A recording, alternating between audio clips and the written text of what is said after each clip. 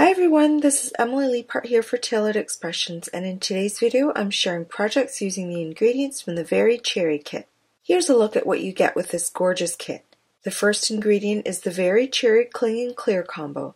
This large rubber cling background stamps a full A2 outline and the clear stamp set fills in those cherries and leaves. There are two sizes of cherries and three sizes of leaves. Next is the Very Cherry stencil, which are little hearts that fill in the space around the cherries on the cling stamp. This is the open scallop circle and it consists of two dies. It creates a beautiful scalloped frame that looks like a flower. It has piercing along the outer rim of the main die, and then there's a smaller die in the center that you can use to cut a window for a recessed sentiment or image, or to create a shaker. This is the Cherry on Top mini stamp set and its coordinating dies. The filler stamps that come with the Very Cherry Cling background will also fill in these cherries and leaves. This stamp set also includes five sweet and punny sentiments, two little words, and four hearts in different sizes. As always, there are six envelopes, two in each color, and they are Cherry Pop, Strawberry Milkshake, and Pea Pod. There are also matching envelope seals, two each, in Cherry Pop, Strawberry Milkshake, and Black. The red ones say hello, pink ones say sweet, and the black ones don't have a sentiment on them. Let's get started on my projects. First, I place an A2 panel of sugar cube cardstock in my mini MISTI stamping tool, and I hold it in place with temporary adhesive. I position the Very Cherry Cling background and ink it up with Oreo ink. I ink it up in both directions and restamp it a second time to get complete coverage. Then I swap out the panel for an A2 panel cut from Strawberry Milkshake. I thought it would be fun to stamp this background on colored cardstock for a more dramatic card. Plus, I want my cards to be inspired by the color theme of the kit, and that makes it easy for me to coordinate colors for each element on all three cards that I'll be making. I ink up the Strawberry Milkshake panel in the same way and set it aside while I use the Very Cherry Clear stamps to fill in the Sugar Cube panel. Since I'm switching from rubber cling to clear stamps, I have to pop the foam mat back into the MISTI. For the larger cherries, I'm stamping them in Cherry Pop ink and inking them up twice with my mini ink cubes. This color is incredibly rich, and I think it just became my new favorite red. I keep going until all the large cherries have been stamped. Some are on the very edge of the panel, so I slide in a piece of scrap paper so the foam mat doesn't get all inky. After all the large cherries are stamped, I switch to the small cherry, which I stamp with Strawberry Milkshake ink. I hadn't used much of this color before, but it's literally the most perfect shade of pink. Not too chalky. And it looks amazing with cherry pop. After all the small cherries are stamped, I move to the leaves. I was torn between stamping all three leaf sizes in Pea Pod, but decided to add two other shades of green for visual interest. I stamped the large leaves in Pea Pod, the medium leaves in Granny Smith, and the smallest leaves in Cilantro. I loved this finished background so much that I didn't want to use it. It looks like patterned paper. I might have to stamp a few of these just to keep on the side and admire. I was really surprised at how well the strawberry milkshake cherries popped, even on the strawberry milkshake cardstock. It really makes a bold statement. On a separate panel, I stamped both of the cherry images from the mini cherry on top stamp set and used the filler images I used on the very cherry cling background to color them. This time I also stamped the cherries in Cherry Pop and Strawberry Milkshake, but I used Pea Pod and Granny Smith to ombre stamp the leaves. I stamped one end of the leaves with Pea Pod and the other end with Granny Smith. I used a sponge dauber to blur the transition lines before stamping the image on the cardstock. Stamping the image twice in this manner softens the transition lines even further, and a third stamping in the lighter of the two colors perfects the blending. This is my favorite way to add dimension on solid images. Here's a look at the completed backgrounds and images. Looking back, I really love how these look without the added hearts from the Very Cherry stencil, so I'd even make different versions by keeping them simpler. Now I'm going to use my wire snips to separate the two parts of the open scallop circle. I die cut two pieces, a solid one from sugar cube cardstock and a second one without the center from silver glitter cardstock. I use 1 8 inch score tape around the opening of the circle and attach an acetate circle which I cut from a circle die.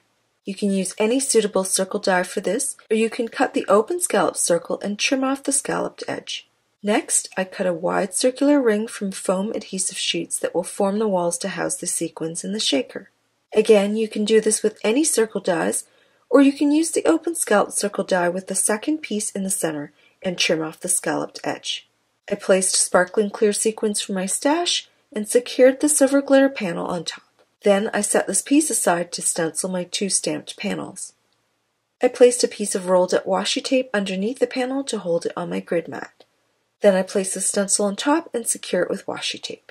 I used a coordinating blender brush with strawberry milkshake ink and lightly blend across the entire stencil. I used slightly more pressure around the edges of the stencil, but in general I tried to keep it even across the entire panel. I just love the reveal when I remove the panel. How cute are those little pink hearts? I will do the same with the pink panel. However, this time I'm going to use a white blender brush with Sugar Cube pigment ink. I'm using a very light hand with this ink, so the hearts will be subtle and show up more at certain angles than others. It's a really cool effect. For my third card with the shaker element, I'm going to use the same stencil but in a different way. I'm going to shift it to one side and use strawberry milkshake ink to add hearts to the center portion of the panel. When that's done, I shift the stencil to the left and use Cherry Pop ink to blend red hearts in the same area to give it a bokeh effect. I've die cut the bokeh hearts background using the largest of the stitch rectangle stacklets. For the sugar cube background, I've die cut the largest of the frame in frame 2 dies from Peapod cardstock. I want to mute the background on the outside of this frame, so I use the same stitched rectangle stacklet from the previous card to cut out the center of a vellum panel. For the strawberry milkshake panel, I used the largest of the diagonal stitched rectangle stacklets to add a border right on the panel. This panel is so beautiful and bold that it doesn't need much more than that. I trim a quarter inch off this panel and adhere it to a cherry pop card base. Then I'll add the bokeh panel to a strawberry milkshake card base. Let's assemble the cards. I use vellum tape to secure the vellum frame to the panel. This adhesive is invisible when used on vellum and I love it. Then I use foam strips to pop up the pea pod frame. Using my trimmer, I add an Oreo background behind this bokeh panel to help it pop and tie in with the stamped images. I couldn't decide on a sentiment, so I decided to stamp several and decide once they were all stamped and die cut. First, I stamped them in Oreo ink on sugar cube cardstock, then I stamped them again using watermark ink on Oreo cardstock and heat embossed them using white embossing powder. I cut the sentiments apart since I was using the mini strips backer die to cut out these sentiments. I added Thanks Cherry Much to my first card. I selected the black sentiment strip since it popped against the white background and green frame, and I attached it with foam tape.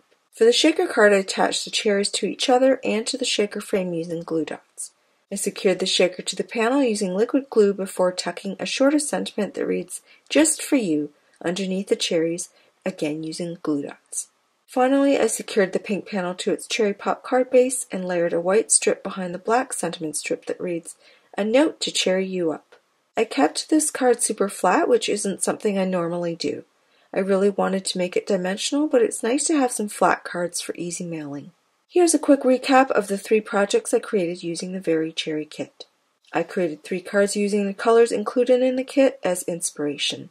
If you don't have additional frame dies, you can use your trimmer and make your own frames from colored cardstock, or you can use the open scalloped circle included in this kit to create different frames on your cards.